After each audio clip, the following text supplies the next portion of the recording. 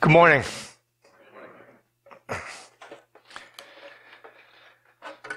We're wrapping up a series. We've been in 1 Corinthians for a while, and let me tell a little bit about what we're going to talk about next time. There's a few series we've done that that have the ability to kind of shift a perspective. When we talked about the Beatitudes, Beatitudes is a place when you look at the text that it tells you things in such a way as to change the way we think about Christianity in a positive way. I think this next series could have be one of those same kind of series, Hebrews 2 through 4 describes a couple of things that when we get them in perspective, they're like two fields of vision, like a pair of binoculars. When you look through these fields of vision, you get a clear image. And with respect to God, there are two things about him that seem to be in conflict with one another, but in Hebrews 2 through 4, it meshes them together in a very, very powerful way. Sympathy and sovereignty. How does that work together? Divine sympathy and divine sovereignty. That's what Hebrews meshes together. I think we'll find that it's a really practical, thoughtful series, and that'll start next week. Um, and as well, we are going to, uh, as you've seen, we might shift around, and JC is kind of the guru over Sunday mornings, and he has some ideas about shifting and reconfiguring. So you might find some changes next week, and you might not. Uh, surprise.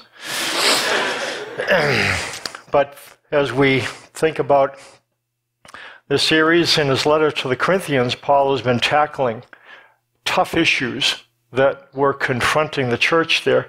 He has called for changes in their sex lives and their social contacts, in their forms of worship, and in their legal dealings. He saves his harshest rhetoric for their Lord's Supper conduct, which is interesting. Uh, in the last section of his letter, he comes around to issues that we might have expected him to deal with earlier. They're issues that we in church in the 20th century deal with very often. But Paul doesn't deal with them until he is coming to his parting thoughts and he deals with the issues of money and ministers.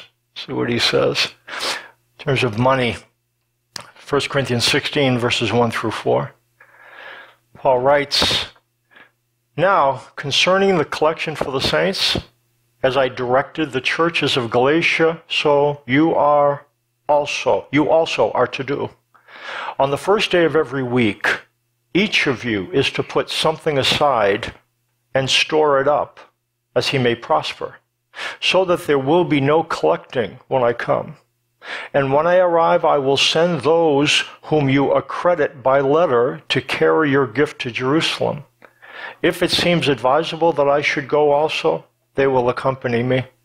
Paul collected money from Gentile churches to relieve the suffering of Jewish Christians that were living in Palestine, living in Israel. And so when he went on his missionary journeys, especially his second and third, what he would tell the congregations of Gentile and Jewish worshippers who lived outside of Israel is that he is going to be taking a collection and that he's going to bring the proceeds of that collection to relieve the suffering of some of the Christians who lived, who Jews who lived in Israel. And in Israel, to become a Christian was to become a criminal. And when they followed Christ, they really basically committed financial suicide. The synagogue was the place where you did business dealings, where you schmoozed, where you got to know who was doing what and who was involved in what.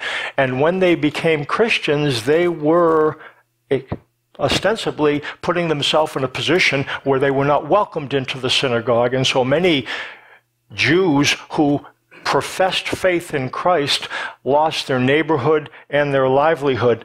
And the Jerusalem based apostles, when Paul went back there and they were quizzing him about what your message is, they encouraged him to remember the poor in Jerusalem. And Paul was more than happy to do that. In fact, he earnestly embraced the opportunity to be able to help out, and that's what he did so long before he was asked. He hoped that the gift he collected would cement the bond between Gentile and Jewish Christian communities. He hoped it would demonstrate that Christian unity transcended ethnic barriers and that in Jews and Gentiles could get along as Christians even when the Gentiles did not become Jewish proselytes. So, what he wanted to establish is that a Gentile didn't need to become a Jew in order to be a Christian.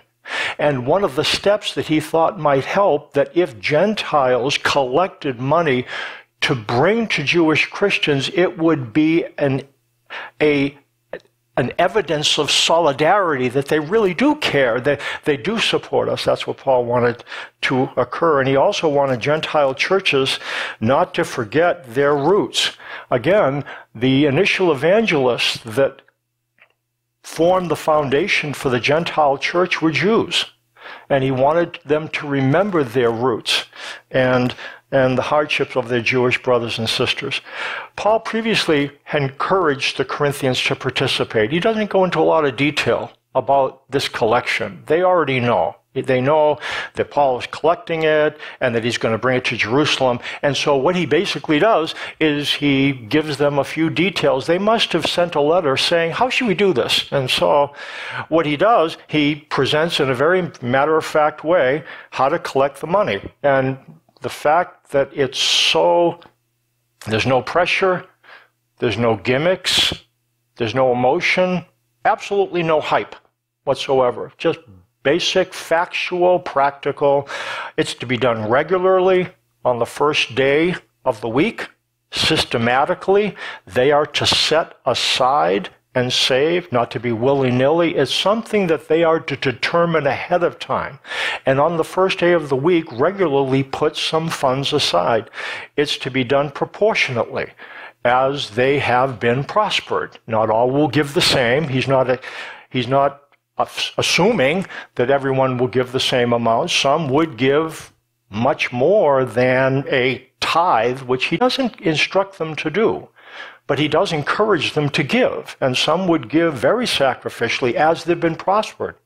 And others would not be able to give as much, but everyone as he was able to, and freely, so that no collections might be taken when Paul comes. He wants it to be taken care of ahead of time. So let's look at those regularly. It's on the first day of the week. Uh, the first day of the week, as far as a Jew was concerned, was Sunday. And that's when they were to take this money and set it aside. It was the day they, they worshiped together as Christians. Paul appears to avoid the term Sunday, calls it the first day of the week. Originally, Sunday had a heathen kind of connotation to it, and it's okay that we call it Sunday, but in that time, Paul steps aside from referring to the first day as Sunday. He said systematically. And it seems that what's supposed to happen, each person is on the first day of the week to store up money privately. They're not to bring it to the church. There's not going to be a collection at the church. What's going to happen is they take this money, they put it aside on the first day of the week put it in their home, and but to systematically make sure that they take care of this. Um, apparently, there's no offering plates that are sent around. Uh, there's to do it proportionately. Again, Paul is not demanding them to give a set amount of money. He's not telling them to tithe, but he is encouraging them to give and we'll talk a little bit about that. He reminds the givers that God is the one who prospers them, and as God prospers you, then give. Uh, they are to give freely. Paul considers it a free will offering, a response to God's grace in their lives. It's by taking up the collection in advance, they are completely free in what they give. And apparently, no one will know who contributed what. One thing that we determined at Hope in the very beginning was that those, only the financial manager really knows what you give. And the reason for that is believe that giving is between us and God, so leadership doesn't know what you give and what you don't give. Um, we feel like, again, that that saves us from either looking up or down, depending on that. It's, and so that's what Paul wanted, apparently, in this situation as well. Um, set it aside ahead of time, do the collection ahead of time. Possibly, Paul wanted to avoid being perceived as twisting arms to get money by asking in person. Or maybe he didn't want to take away from other focuses by demanding the money when he came. At any rate, what he said is get this taken care of. You know what this is for. You know why it's important. So as you determine to do, set aside the money you've determined to set aside. Do it the first day of the week. Do it regularly and do it freely. And then when I come, I'll take this money and and we'll bring it to Jerusalem. Paul deals with um, giving in his letters to Corinth, and what he's trying to do, he's trying to get them to do the right thing. Give, give but to do it for the right reason. In Greco Roman society, Christian works normally were done to bring praise to oneself. This is the way it worked. Uh, giving to others displayed one's personal virtue and social power, not one's compassion necessarily. So when I gave, it's because I can give, and I and I make sure others know that I'm giving. And so, in so doing, I am kind of showing how influential I am, how powerful I am. Uh, people gave to others who were capable of who were capable of giving them something in return, either through repayment in kind or through the bestowal of honor by lauding them publicly. Paul expects the Corinthians, though, to do good works for people so as to bring praise to God and not themselves. And that's why he has to deal with money when he talks to the Corinthians. He says, And when I arrive, I will send those whom you accredit by letter to carry your gift to Jerusalem. Um, what they're going to do is get this entourage and they're going to take this offering, and if there's a bunch of people, they don't put a bunch of money on pack mules, which would attract the attention of robbers who would be on the road from where they were to Jerusalem. It's a long trip. So if they have a cadre of people. So then what they're able to do is people can put money belts on and, and wear things and sew it into the things. And so it's not obvious that this, this group, they, they thought things through when they did things, when they figured out how we get from point A to point B. Paul was very practical, and this, this, this offering was very important to him. So he wanted to do what he could to make it successful. Um, they are going to determine who they're going to send and Paul's really okay that they determine that. He doesn't know if he's going to need to know or go or not, so he'll decide that when he comes, and then they'll take care of that detail. Personal representation, again, from the Gentile churches, is part of what Paul is looking forward to. What he wants is for Gentile Christians to show up in Jerusalem and for them to be able to come face to face with the apostles and their brothers and sisters in Jerusalem. They wanted them there, not just Paul, and they wanted from their hands for these individuals to say, you know, I know that you guys are um, you're suffering here and, and your pain matters to us. And we just took this offering and, and we really wanted you to have this. I know that, that you can't work a job in Jerusalem because you forfeited that right when you became a Christian. And I know that you don't have a lot of people to care for you, but I just want you to know that way, way far away in Turkey, you matter to us. And, and we wanted you to have this. And it was a concrete representation of care, they would bring it face to face, and that's what giving feels like to Paul. It's free will and face driven.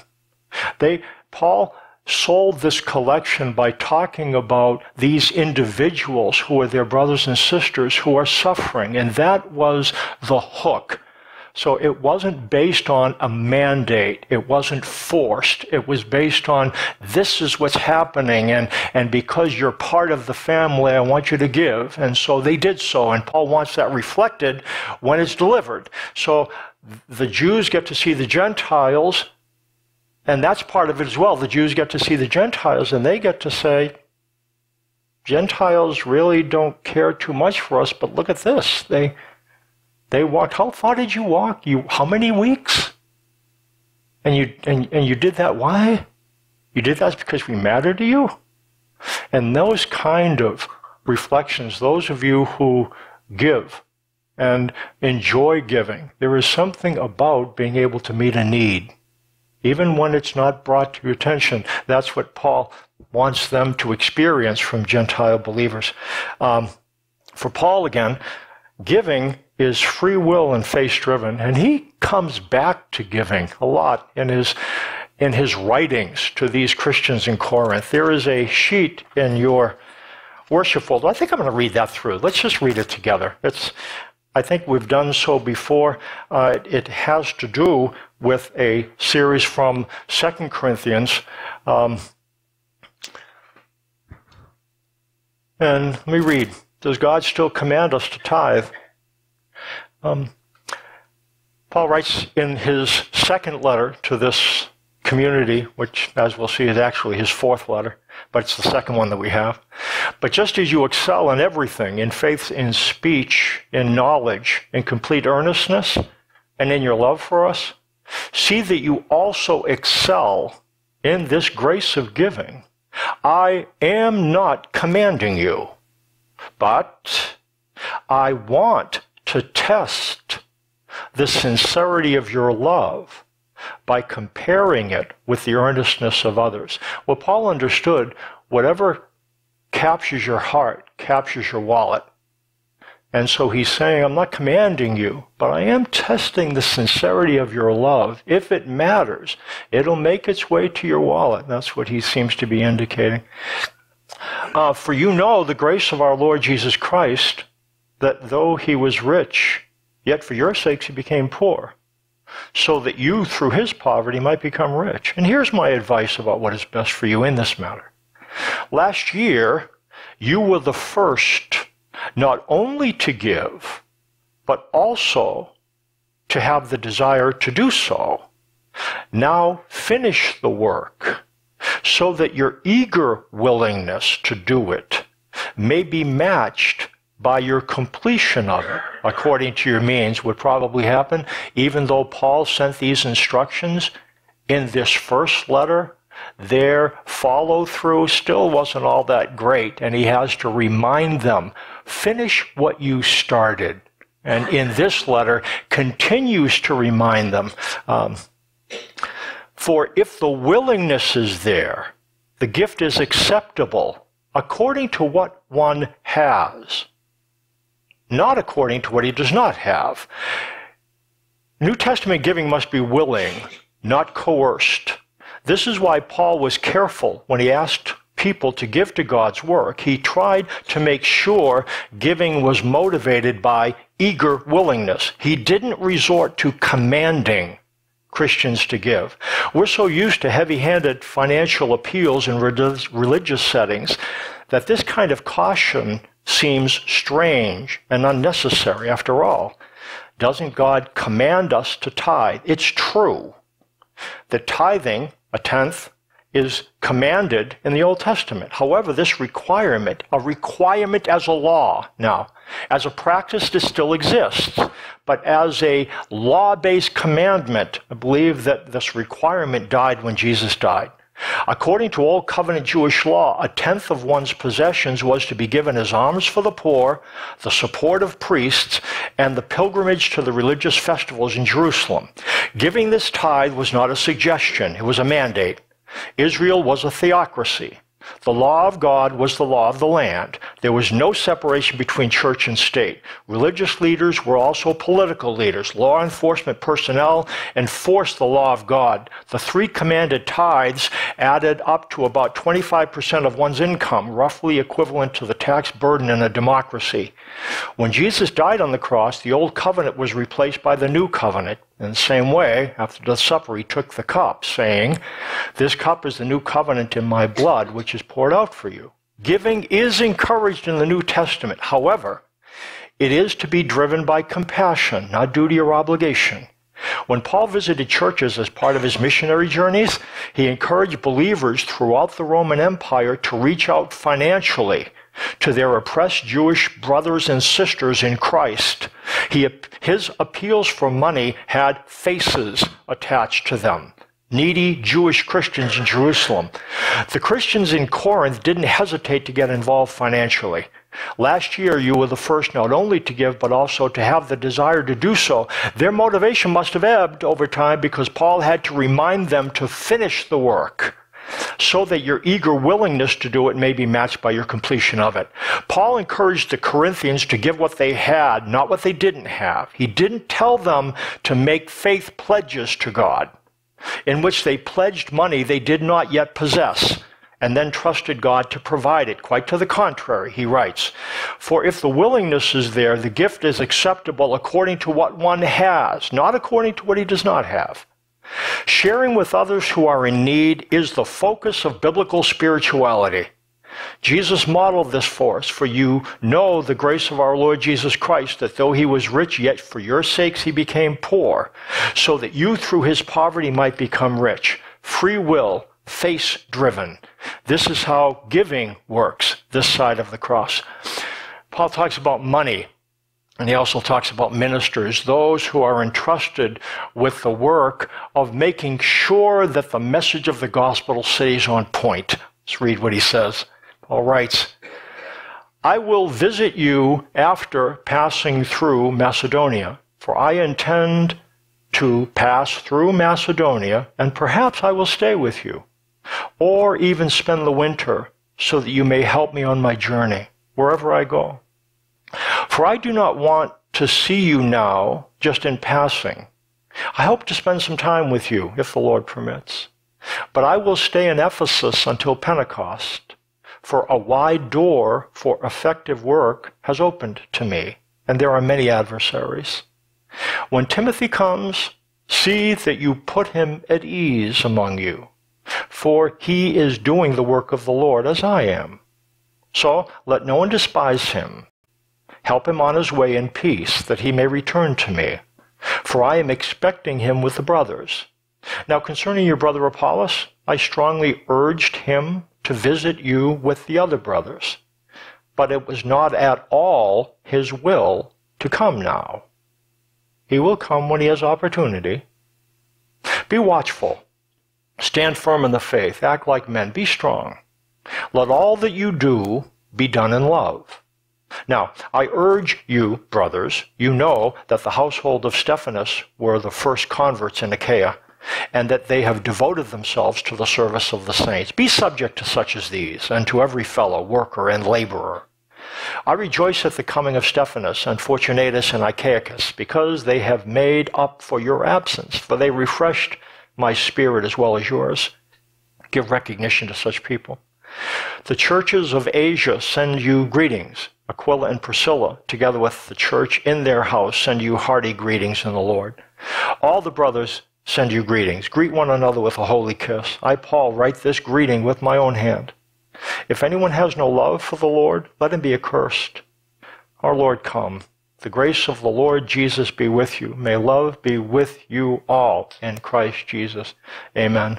Um, the emerging problems at Corinth dictate that Paul is going to remain with them a longer period of time. That's why he says, he, politely, the purpose for the long stay is so they can send him on his way wherever he ventures next. It was his, it was his um, practice when he was in a place. He was a tent maker. And so he would ply that trade so as not to be a financial burden on the people that he was ministering to. He held to that in terms of his personal way that he did things. And then what he asked is as he went from for Corinth to like another place, he would encourage individuals to send him on his way so that he might have some resources in order to start the work in another place. Um, he did then allow them to equip him, and what he ends up saying is, "Okay, I'm going to stay a while. and I want you to to send me on my way." And it's it's kind of a polite way of saying, "I'm going to I'm going to be there a while." And the other reason is because there's some things there that need some attention, and he has he has written very precisely and practically about some of the things that they need to address. It's interesting. Paul understood his mission and what he can't do, he can't be everywhere. And so, what Paul knows, he is in ministry to do two things. Two things. If you ask him, what is your purpose? Two things. It's to guard the gospel. That's what he said. He guarded the message. He didn't guard the people. He guarded the message. What Paul understood is if he guards the message, if the message stays what it is, the message will change lives. So you guard the message. And secondly, you give the message to individuals who would be able to give it to others as well. That's why when Paul went from place to place, his primary order of business was to establish a footing in a place to find individuals who had a special capacity and heart to be able to understand the message, and he would appoint them to be elders in that place. Because when he goes from point A to point B, there's going to be no shortage of confusing teachings that are going to rush. And most people, they had no idea because the only Bible they had was the Jewish Bible, and some of the individuals who are raising questions were Jews. Well, look at it says this. So how can you say that Jesus is this and that?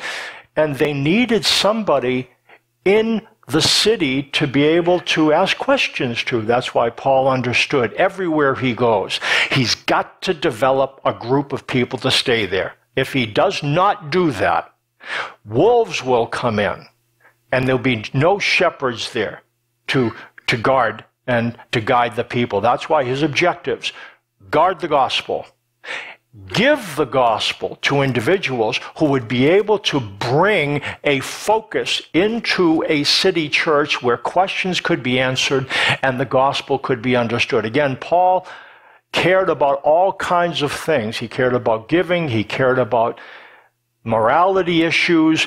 Paul's number one directive he saw himself as a steward, one who had been given a message that he was to give to the individuals that God sent him to. Paul was very clear about his purpose. And that's what he guarded. Guarded the message and gave it to individuals who could give it to others as well.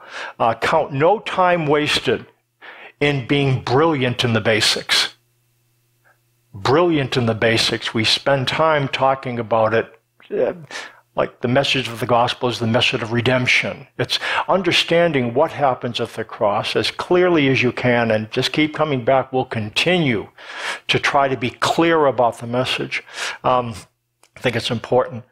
Paul then identifies some of the individuals that he has equipped. Timothy, it says, when Timothy comes, see that you put him at ease among you, for he is doing the work of the Lord as I am. So let no one despise him. Help him on his way in peace, that he may return to me, for I am expecting him with the brothers. We don't know why he's saying, be nice to Timothy. You know, some people say, timid Timmy. You know, and he was not a very strong individual. We actually don't know that really. It's, he's not as strong as Paul, but not, not many people are as strong as Paul. Um, he had a little stomach issue. Some individuals indicate, well, that must be because he's nervous, and we just don't know. Um, what we do know is Paul has sent a very harsh letter. And when you send a harsh letter, he is not going to be the one to be there. Now, there's three guys, we're going to meet them in just a little bit, who are going to take they took the letter from Corinth to Paul, who was in Ephesus at the time. By the way, on the back of the um, the sheet with the text, there is an outline of Paul. Just if you're interested, it's a I copied out of a Christian magazine just an outline of kind of the the highs and points of Paul's life, kind of what he started and where he went, and just just wanted you to have that. At any rate, um, um, he then has sent this letter. These guys bring it. The letter will get there uh, before Timothy gets there. And then Timothy is Paul's spokesperson. So Paul says some really harsh things here. He, he speaks to them very aggressively and assertively. And when Timothy comes, perhaps he doesn't want Timothy to get egg on his face. You know, kind of, don't shoot, I'm only the messenger. But Timothy is the one who represents Paul. And Paul is saying, This is my stuff, but don't take it out on Timothy. We really don't know. Um, Apollos, this is kind of interesting. You get the sense that this, Paul and the people he travels with, they're not a band of brothers. What we know is that when Paul went on his first missionary journey with John Mark, who was Barnabas's nephew, Barnabas was there, John Mark was there. Uh, John Mark bailed out when they got to one of the early spots. And then when they were going on their second missionary journey, uh, Barnabas said, John Mark wants to go along again. And, and Paul says, Oh, my dead body. So, anyways, Paul and Barnabas, they had such a conflict that they split up. They stopped traveling together, which might seem that's too bad. But you know, it's interesting. Hostility is something that God can even use hostility. What ends up happening? Barnabas ends up taking um, Mark, who becomes the Mark who wrote the gospel, and under Barnabas's careful tutelage, Mark developed. Paul wouldn't have been as patient with him as Barnabas was. Different gifts, different individual. Paul ends up taking Silas, who ends up being a very profitable worker and ends up developing a relationship with Timothy. So, even though there's hostility, in fact, in this letter, Paul talks about a that he can't come to Corinth right away because a door has been opened for the message, and the door has been opened by the presence of a bunch of adversaries. But what Paul understands, if there's a bunch of adversaries, that doesn't necessarily take away from evangelism. In fact, it spurs it. So what Paul understands is if everybody's talking about it, everybody's talking about the message. So Paul's glad for the presence of hostility because it actually helps its work. Um, uh, but Apollos, it seems, uh, Paul um, strongly urged Apollos to go. And again, if Paul asks you to go and he's the apostle to the Gentiles, it it takes quite a backbone to say, no, I don't think so. But that's what Paul, Apollos ends up saying. Apollos is a Jew from Alexandria. He is, he again was really good at speaking. He was an excellent orator, and people wanted him because he was so, his, his understanding of the message was not as clear as Paul's. He, Paul ends up saying that he went in, in Turkey somewhere and he was talking to individuals and he said, How did you find out? Apollos taught us. Oh, that's great. Uh, and he says, Tell me about the, the Holy, what? And they had never heard about the Holy Spirit. And so Apollos had been there and he left a few things out, not because he was trying to be not effective, he just didn't know as much. And so Paul had to direct him to some others, individuals who we'll mention later, Priscilla and Aquila, and they helped this guy know what the details are. So Apollos was a very good communicator, but you get the sense that I'm not sure that there was a little bit of a kind of a tete a tete, face to face. Paul says, go, and Paul says, nah, I don't think so. Okay, God bless you. Paul doesn't, so. Uh, not necessarily a band of brothers. There was Stephanas and Fortunatus and Achaicus. It says, Now I urge you, brothers, you know that the household of Stephanas were the first converts, converts in Achaia. they have devoted themselves to the service of the saints. Be subject to such as these, and to every fellow worker and laborer. I rejoice at the coming of Stephanas and Fortunatus and Achaicus, because they have made up for your absence. They refresh my spirit as well as yours. Give recognition, give recognition to such people. These guys probably were the ones that took the letter from Corinth to Paul, asking the questions that Paul responds to in this letter. Paul gives them this letter and they bring it back. And what he says as they will deliver this, he'll say, Boy, these guys, these guys really did something. You know, they were, they, they took this communication to me, they stayed with me, and they took it back to you. These kind of people matter. Those who don't just say, that they want to serve, but those who actually serve, who serve and ex- demonstrate it in terms of shoe leather. And that's what he ends up saying. Uh, Paul understood that he, again, he could not be everywhere. So what he does, he focuses and cultivates others' understandings and encourages them to know the message and to do what they can to bring others in their sphere of influence to understand the message. Um, and that's our opportunity as well. As best as you can, be brilliant in the basics. I think there's some things that we're going to learn over the course of this next series. I think that divine sympathy and divine sovereignty are two things about God that, when they are brought into focus, I think are extremely powerful.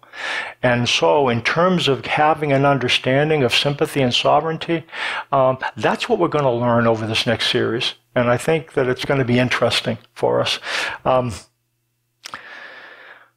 Paul writes, though, um, he wants to make the gospel clear because wolves, he understands, are going to come into his people and try to create confusion. He says, I will visit you after passing through Macedonia, for I intend to pass through Macedonia, and perhaps I will stay with you, or even spend the winter so that you may help me on my journey wherever I go. For I do not want to see you now just in passing. I hope to spend some time with you if the Lord permits. This ends up getting him in trouble. When he ends up saying, I'm going to come and visit you. What ended up occurring, though, um, that these initial plans changed, and he had to make he changed his plans. He had to make an emergency voyage to Corinth that proved to be very disheartening for Paul. Here's what we learn in 2 Corinthians. I'll just read this. Uh, because I was sure of this, I wanted to come to you first so that you might have a second experience of grace, both to and from Greece. He wanted to pay a couple visits. He ends up not being able to do so. And he's explaining to them, I wanted to visit you on my way to Macedonia and to come back to you from Macedonia and have you send me on my way to Judea. Was I vacillating when I wanted to do this? Do I make my plans according to the flesh, ready to say yes and yes and no, no at the same time? What ends up happening? He changed his plans and some people are blowing him up. Uh, was he was he acting according with God's will? He said he did say he was going to come and he didn't come. Hmm. And he is a apostle of God and he changed his mind. And Paul says, "Come on, come on. I, I, I intended to come. Things changed, but." Whatever everything what Paul does, there's individuals who are ready to nip at him. He ends up when he's in Corinth, when he's in Corinth, having a nasty confrontation with an individual that causes him to bid a hasty retreat. It was dicey in Corinth. That's why they say, take care of Timothy, because what ends up, well, let me read what Paul says in 2 Corinthians about what occurred when he went there on this change of plans visit. 2 Corinthians 2 1 through 4. Here's what it says I made up my mind not to make another painful visit to you, for if I cause you pain, who is there to make me glad? But the one whom I have pain. And I wrote as I did, so that when I came, I might not suffer pain from those who should have made me rejoice. What ended up happening, Paul made a second trip to Corinth that was very painful. And he ends up having to leave, and he writes this painful letter that we don't know about but it's it's one in which he has to be pretty direct with them and he doesn't know if they're going to open their hearts to him or not so First Corinthians is actually the second letter that Paul writes. Then there's this painful letter. Then Second Corinthians, our Second Corinthians, is actually the fourth. So all you need to know in terms of First and Second Corinthians is one equals two and two equals four. First Corinthians is actually the second, one equals two. Second Corinthians is actually the fourth, two equals four. One equals two, two equals four. We don't have the painful third.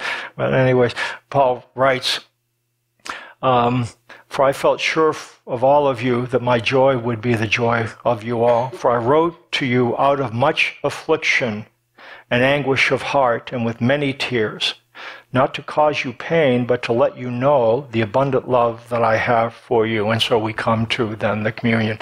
Love matters to Paul, matters to God. And so what he does then he brings them back to the thing that he was most disturbed by in this letter. Again, there's all kinds of things happening in this place. There's sexual acting out, and there's there's maybe even cross dress. There's all kinds of stuff. But the thing that Paul really pins in this letter more than anything is what's happening at communion. What's happening, they're coming together. They bring their own meals and they eat the meals together. Some end up showing late. They're servants and perhaps slave, and they just don't have that much to eat.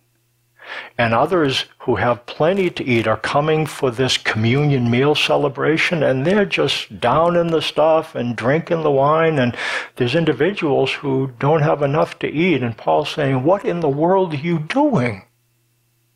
This is not the way this works. This is not about just make sure you and God are fine. It's a family. We're a community. We take care of one another. And that's why I'm bringing this offering because you are brothers of the individuals in Jerusalem. And I want you to get the money together because I'm going to take it there. And I want you, some of you to go because they're going to get it from your hands and it's going to matter to them. They're going to understand we are a family with Gentiles. And so Paul wants to encourage more than anything that this is something that's for brothers and sisters, and that's what brings us to the table. Um, it's a place where we experience something together. And if you name Christ and you believe in Him, you don't have to be a member of this church. This is something we are to do as family. It represents the covenant meal that we will experience there. Well, all many as who are believing in Christ will be there and it will be the inauguration of a covenant. This is a forecast of that. And so when you just, there's just a table in the back and there's not one in the front for today. So just go grab the bread and the juice. There'll be some music and sometime during the course of that music, take it as family. This is something that Jesus opens the doors so that we could be members of his forever family. This is the first of not the first, but the next in a line of more communion services on this place. And it's a forecast of the, the covenant meal that would usher in our eternal existence with Him. That's a real thing. And, and again, one of the major things that Paul talked about that Jesus rose from the dead, and it happened. And what he said, what happens to him happens to us. They tried to find the body, and they couldn't. He really did rise. And he really does say that these bodies are going to go into the ground like a seed. A seed is a bare seed. It's not very glorious, but then it's going to come up out of the ground because Jesus did. And we're going to follow in turn. Here's the first fruits. That's what we look forward to. And that's what this meal is about. It, it represents who we are, children of God, and it does not appear what we shall be, but when we see him, we'll be like him, for we will see him just as he is. Take the juice and the bread and give thanks for Jesus, for the Father, and his desire that we will be members of his forever family.